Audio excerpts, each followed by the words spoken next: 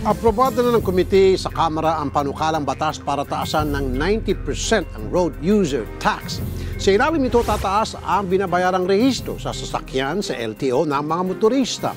Hati naman daw sa tatlong taon ang pagpapatupad ng dagdag na tax. Katumbas siya ng 30% kada taon. Halimbawa sa light vehicles, mula sa 1,600 ay magiging 2,008 pesos.